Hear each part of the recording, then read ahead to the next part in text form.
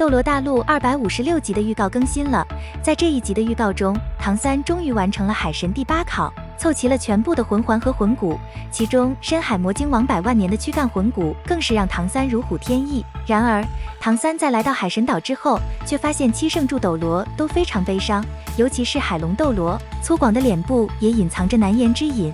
唐三询问后，海龙斗罗并未说实话，仅表示有些怅然，实际上却是因为波塞西。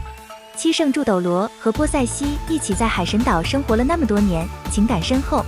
可是波塞西很快就要完成自己的使命，也就是献祭。对七圣柱斗罗而言，波塞西献祭无疑是难以接受的事情。他们也是在近期才得知此事。当唐三前往海神殿见到波塞西之时，他也吃了一大惊。唐三万万没想到，波塞西竟然沧桑了这么多。原本光鲜亮丽的绝世美人，现在却迟暮了，而且声音也变得嘶哑。结合预告给出的镜头来看，现在的波塞西将头发盘成了马尾辫，更是给人一种老态龙钟的感觉。是什么导致波塞西经历了这么大的变化？原因就在于唐晨的离世，这给波塞西带来了巨大的伤痛。一夜间，美人迟暮。唐三看到波塞西的面容后，也是大惊失色。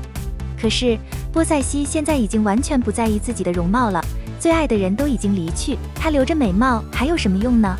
唐晨的离世对波塞西的影响着实太大，以前他还不愿献祭，可是现在他巴不得快点献祭，献祭对他反而是一种解脱。唐三来到海神殿后。波塞西也会向唐三解释唐晨去世的原因，同时还会将唐晨的意愿带给唐三。唐晨在离世前将全部的魂力都注入到修罗剑中，给唐三带来了新的选择。唐三可以选择继承海神之位，也可以选择继承修罗神神位。